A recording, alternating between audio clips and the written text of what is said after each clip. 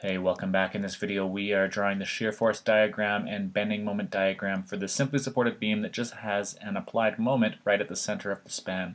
So the first thing that we do is we draw the free body diagram and then solve for the reactions. So we find that AY is actually 25 kilonewtons pushing down and BY is 25 kilonewtons pushing up. So we're ready to draw our shear force diagram now. It's pretty simple. Uh, let's just label it here. We have our shear force diagram and this is in kilonewtons. So if we went and drew a, a small free body diagram for a virtual cut anywhere along this span, uh, we'll see that starting from the left hand side we have uh, AY was 25 kilonewtons pushing down. So the internal shear force anywhere has to just be 25 kilonewtons pressing back up because there's no other applied forces until we get to the very end. So we can just draw that on as, well actually if we look at this, this is pushing up on the right hand side, so that's opposite to our positive sign convention for shear. So this is a negative 25 kilonewtons. So we'll just drop in a straight line the whole way across, just like that, and we'll label this as uh, negative 25. If we wanted to take a look at it from the other side just to confirm that this seems right, what we're doing, we'll start on the right hand side, we'll take a cut somewhere along here, and we know that our reaction at, uh, at B here was 25 going up. So uh, on the left hand, if we had a cut on the left hand side, we'd have to have a shear force of 25 going down. That 25 magnitude in its opposite sense for when the cut is on the left hand side, so that would be negative 25. So the whole way across, no matter where we go, the shear force is 25, negative 25 kilonewtons, and it's actually unaffected by crossing past this, uh, this applied moment here.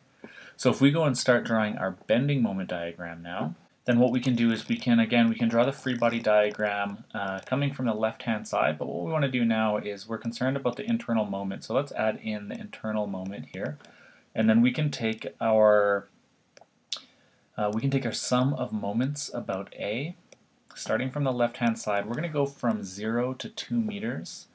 Uh, the expression is going to look like this, uh, if we say this is the positive direction uh, we will have 25, so we also should throw this in here, so x.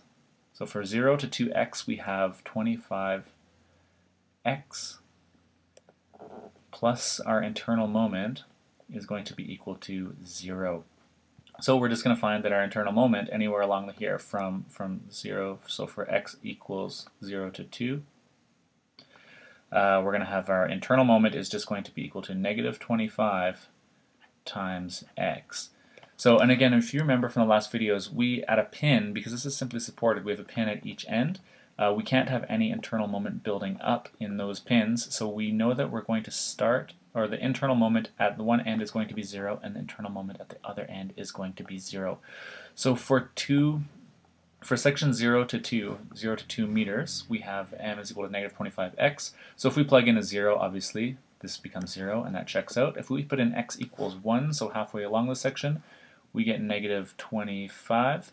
And then if we uh, plug in x equals like just to the left hand side of 2, so like 1.99999, we're going to get this is equal to uh, negative 50. So this is negative 25 and negative 50.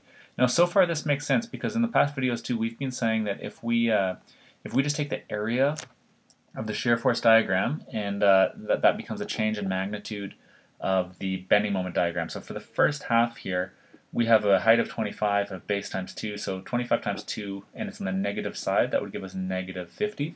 Now if we if we continued this on all the way, we'd end up way down here at negative, uh, maybe we'll just bring this down a little.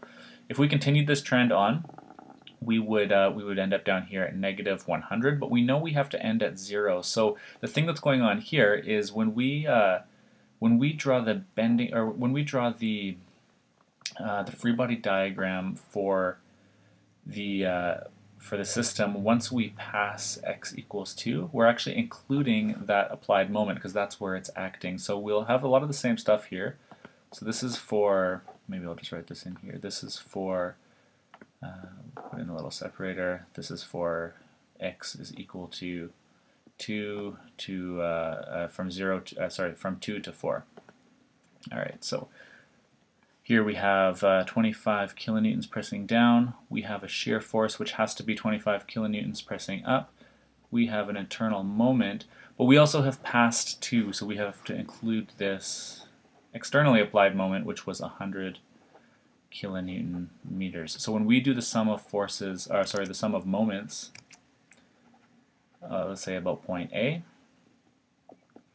then we're getting, uh, well, we have 25 times x, that's the moment caused by the shear force, plus the internal moment, uh, and then uh, this, this externally applied moment is going to be on the other side of the equation because it's going the other way, so we have 100 kilonewton meters. And when we rearrange for the internal moment from x equals 2 to x equals 4, we just get this is equal to 100 minus 25 x.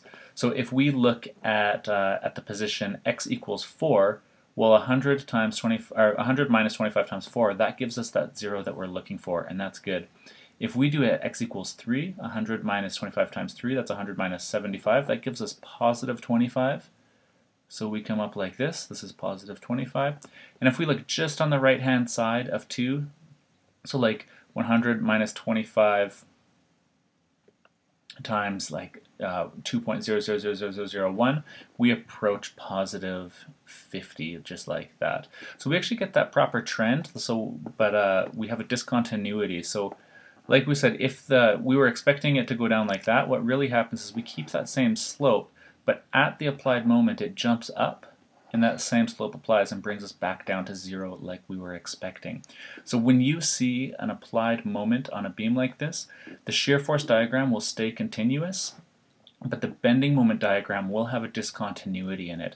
Very similar to how when we have had a point force, uh, there's a discontinuity in the shear force diagram where that point force is acting, uh, whereas if it's a an applied moment, we have a discontinuity in the bending moment diagram where that externally applied moment is acting. And in this case, it brings us up. It's 100 kilonewton meters, so it jumps us from negative 50 to positive 50. And then here, actually, we can take the area analogy where we had this negative area, which is 25 times 2, and uh, that is uh, that brings the bending moment diagram down by 50 units, and so we go from 50 linearly down to 0, 2. So you can still see that does hold true. Just watch out for these discontinuities when we have applied moments.